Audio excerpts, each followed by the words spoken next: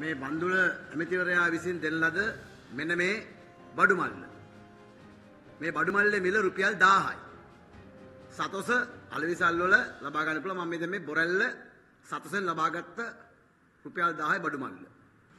බඩු මල්ලේ තිබෙන ප්‍රධාන ගැටලුව තමයි අපි අහන බන්දුල ඇමතිවරයාගෙන් මේ රුපියල් 1000 දෙන බඩු මල්ලට බඩු මල්ල ලබා ගත්තන් පස්සේ පාරිභෝගිකයන්ට ලබා දෙන බිල්පත ලබා නොදෙන්නේ ඇයි කියන එක පළවෙනියෙන්ම අපි ප්‍රශ්න කරනවා. බඩු මල්ලේ නොපෙනෙන යම්කිසි වංචාවක් සිදු වෙනවා. ඒ වංචාව තමයි රාජ්‍ය ආයතනයක්. මේකේ ගනුදෙනු සිදු වෙන්න ඕන නියමාකාරයේ අතයට නෙමෙයි ඒවා ලේඛනගත වෙන්න ඕන.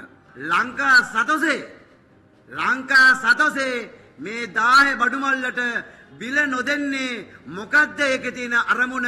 එහෙම නැත්නම් පරිසරයට අගතදායක දෙන්න නිසා පරිසරයට අහිත කරන නිසා ඒ පරිසරයට බිල මුදාහරන නිසා එහෙම චේතනාවෙන්ද? එහෙමත් නැත්නම් මොනයම්මෝ අරමුණක් උදෙසාද කියන එක අපි අහනවා. මේ රුපියල් 1000 බඩු මල්ල ගෙවනකොට අපි නිකන් 1000 දෙනවා. අර කැෂියර් එකේ ඉන්න සතසේ ඒ ඉන්න කැෂියර් එකේ ඉන්න ඒ ඒ තරුණයා හෝ ඒ තරුණිය කරන්නේ මොකද්ද? කොලේක 1000 කියලා ඒ බෑග් එකයි කියලා ලකුණු කරගන්නවා. මේ බඩුමල්ලේ තිබෙනවා කාටවත් නොපෙනෙන ඉතාමත්ම සීනි වංචාවට වඩා එහාගේ දරුණු ගණේ වංචාවක් ඒ තමයි මුව ආවරණ වංචාව. මේ බෑග්කේ තිබෙනවා මුව ආවරණයක්. මේ තියෙන්නේ මුව ආවරණය.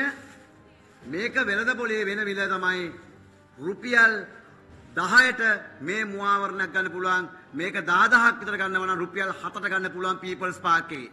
එහෙමනම් කොහොමද මේක රුපියල් 14ක් මේ 10 බඩු මල්ලට එකතු කරේ මේගොල්ලෝ? මේ 10 බඩු ටිකට මාසයකට වටිනාකම රුපියල් 14යි.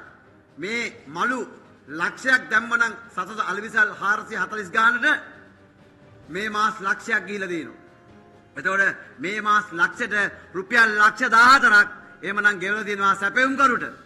එහෙනම් සැපෙවුම් කරු ලක්ෂ 14ක් ගන්නකොට සැපෙවුම් කරු මේක ගන්න රුපියල් 7යි රුපියල් 10යි. එයා අහිංසක රුපියල් ලක්ෂ 4 5ක් 100ට 100ක ලාභයක් අහිංසකට සාක්ෂි දා ගන්නවා. මේ පරිප්පු තමයි පහුගිය දවස්වල වැලිගමදී මහජන සෞඛ්‍ය පරීක්ෂකවරු කිලෝ දහස් ගාණක් මේක ඇල්පඩොක්සින් අඩංගුයි කියලා මේක රජයේ රස පරීක්ෂකයා කිව්වා කියලා වැලිගම සම්පකාර සම්පකාර දිවිච්ච පරිප්පු ටික විනාශ කරා. හැබැයි මේ ප්‍රවෘත්ති රට තුල ඉතා වේගයෙන් ජනප්‍රිය වෙන්න දුන්නේ මොනියම් කරුණු කාරණාත් එක්ක වැහුවා මොකද මේ පරිප්පු ප්‍රශ්නය આવොත් තවත් ආණ්ඩුව අපහසුතාව පත්තන හින්දා.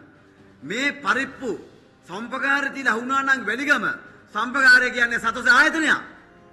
සතොසා සම්පකාර කියන එක එක ආයතනයක්. එහෙමනම් වෙලිගම සම්පකාර පරිප්පොල ඇල්පඩොක්සින් තියෙන්නත් සතොසෙන් දෙන මේ බෑග් එකේ ඇතුලේ මේ පරිප්පොල ඇල්පඩොක්සින් නැති වෙන්නත් හේතුව මොකක්ද කියලා අපි අහන බන්දර ගුණ වදගෙනුත් මේකේ තියෙන හොඳම විහිළුව අද කියනවා පිළිකාකාරක වල පොල් තෙල් තියෙනවා පොල් තෙල් වල පිළිකාකාරක තියෙනවා කියලා.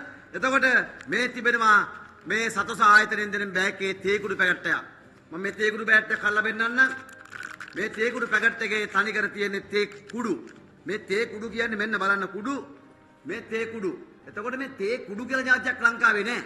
ලංකාවේ තියෙන තේ කොළ උණු වතුර දාන තප්පර ගානක් ඇතුළතදී ඒ තේ කොළ ටික තැම්බුණෙන් පස්සේ තමයි ඒකේ තිබෙන සාරය ඒ තියෙන පෝෂණය පැත්ත එන්නේ. හැබැයි මේ තියෙන්නේ තේ ෆැක්ටරි වලින් අයින් කරන සම්පූර්ණ සූපින් අඩංගු තේ කොළ කොටලා ඩයි දාලා. මේක තියෙන්නේ ඩයි. ලංකාවේම එකම නැගතකින් ලිපගිනි මොලවලා කිරිබත් හදලා මේ සිව් දෙවල්ලා මේ Hindu සිංහල අලුත් අවුරුද්ද ආදරෙන් බාර ගන්න දවසේ බන්දුල ඇමතිවරයා දෙනවා මලබත කන්න බෑග් එකක් අඩු ගානේ පොඩි එකකට කන්න අර ධාන්‍ය පැකට් එකක් අර සම්පෝසාරි මොනවාරි පැකට් එකක් එහෙම නැත්නම් බිස්කට් පැකට් එකක් මේ මෙවැනි දේවල් මේක දෙන්න ඕනේ. ඈ? එතකොට දාලා තියෙනවා ලුණු කුඩු පැකට් එකක් මේක ලංකා ලුණු මේක රුපියල් 65 ගාලා මේක මේක ගන්න පුළුවන් තොගමිල රුපියල් 35 දලින්න ලංකාවේ රාජ්‍ය ආයතනයත් ලංකාවේ මේ ලුණු. හරි?